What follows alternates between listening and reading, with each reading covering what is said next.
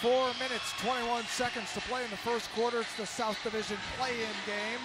The Bengaluru Beast have jumped to an eight-point lead.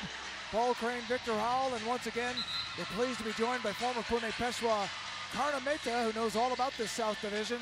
But what's one of the elements that's new this season to the South Division, Bengaluru's Pal Preet, Karna. His coach has already said that he is one of the reasons why they have the momentum and we can see why.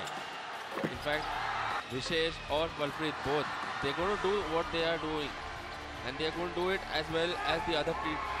They just need to play as per their plan and they're going to get there. It's only the other team players which have to back them up. And what about having a guy that size? He's already got a couple of block shots. He can go to the rim with a dunk shooting outside. How tough does that make it to defend?